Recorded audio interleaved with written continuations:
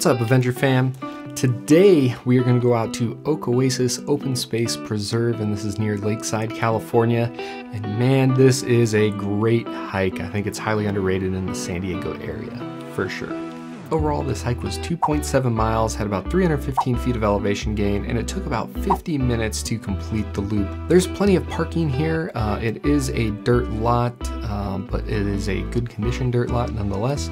There's also a bunch of signs that say, hey, protect your valuables. We're not responsible for anything that might be stolen. Uh, so with that in mind, if you have any valuables in your car, take them with you, and also don't leave them on your car seat or places where a thief might visibly see, okay, if I break this window, I can have it. So something to keep in mind while you're visiting. There's a lot of signs at the trailhead, make sure to pay attention to those. Um, it has things like the park hours. It had a sign that told us to make sure to be off the trail by 5.30. Now those times can change depending on daylight savings. If you do this trail, you need to do it right. And the most important thing is when you do this trail at the halfway point, you will see a sign that says Scenic Overlook. If you're not paying attention, you could miss it, but it's also obvious at the same time. I don't know how else to describe it. Make sure to go to the scenic viewpoint um, so you can take a look uh, over the reservoir. It's absolutely beautiful, especially on a clear day and it makes this hike what it is. Overall, this is not a very difficult hike, so I think this makes it great for kids.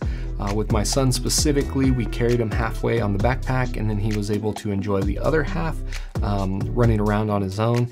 There were a couple steep spots where he was a little uncomfortable, uh, nothing crazy, but as a little guy, you know, it was, it was more than intimidating. Uh, so we'd pick him up and then once we got back to the flat ground, we'd let him do his thing and he would just be down the trail running, uh, having a good time looking at all the rocks and everything that surrounded.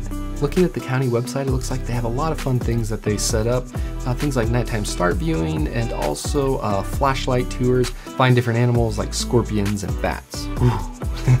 I'll put a link to that county website with this information in my blog link, uh, which I'll have down below. There's nice tree coverage, the trail is well groomed, uh, it's a loop, it's got a beautiful scenic overview. Overall, this is just an amazing trail that if you're in the area, or even if you're a little bit farther than in the area and looking for something about this difficulty level, I'd highly recommend checking it out.